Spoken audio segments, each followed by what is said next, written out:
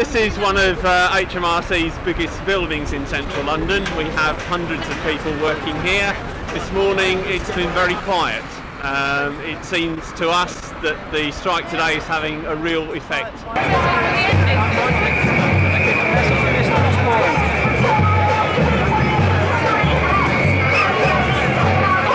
Well, I mean, we've come out over pensions. I mean, that, that's why, though, why we've been able to get all the trade unions together to come out in solidarity with one another. But it's not just about pensions, it's also about job cuts, it's about pay, it's about, though, right, our whole standing and status as public sector servants. We're now faced with a situation of having a pay cut and we've got to try and find an extra 60 quid a month to pay into a pension scheme and this just is highly unfair. The FDA represents senior civil servants uh, right up to the very highest levels in Whitehall and those are the kind of people who are out on strike today. For the first time I'm standing on a picket line, for the first time my union is on strike. I'm here in support of the strikers that have come out in campaigning to protect their pensions. I'm a member of parliament and this is my workplace. The unions have put picket lines on and I'm respecting those picket lines. I'm also chair of the PCS parliamentary group. PCS has a large number is affected by this and really it's a matter of everyone standing firm now and standing together. If they attack this pension, to be frank with you, I think public sector pensions overall in this country will be undermined in the same way they were in the 80s and 90s in the private sector. So this is a basic act of solidarity on my part. It's trying to force the government back into negotiations, and if we don't win on this particular dispute and this on for this particular action, we'll be back on the industrial action in the new year as well. Because we're low paid, they feel we haven't got a voice, but as you see today, we have got a voice, and it's getting stronger. And all we're asking for is what we signed up for when we joined. We signed a contract to say, you work hard, you do your work, and at the end of it, you'll get a pension. You can retire at a certain age, but now government's changing all the rules. All the rules have been changed.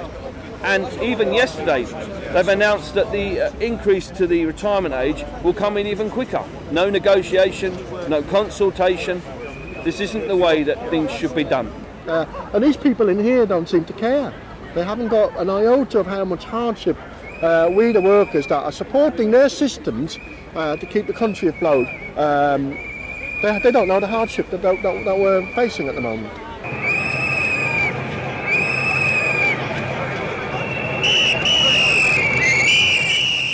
when was the last time that kind of two million people mobilised around the country to, to, protest against anything? I think that that's very telling of, um, and um, I, am sure when that many people organise and get together that some sort of change has to happen. I, it can't be ignored. We're not asking for anybody to pay into our pension. We're asking for our pensions to be left alone.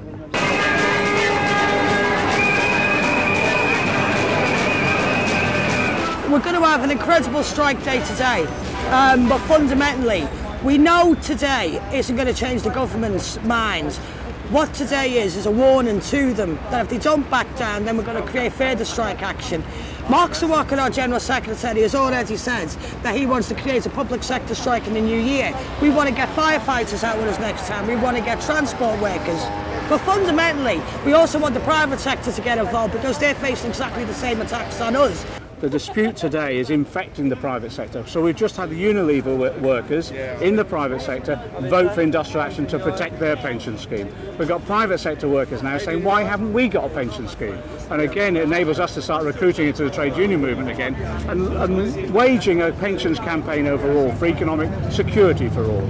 So I think this dispute creatively now is reinvigorating the trade union movement. They're standing up for their pensions, they're standing up for their rights, They've had a kick in and they've had enough. They've had enough. And basically, what we're saying is they can't afford 3% extra. No way. We're not asking for extra, we're asking for our contracts to be honoured. The people are speaking. Millions and millions of public sector workers are making it known that they've had enough. People just see this as being the fight of their lives. You know, we've got people here who basically devoted their whole lives to the public sector and they see what the government's doing and they want to fight back.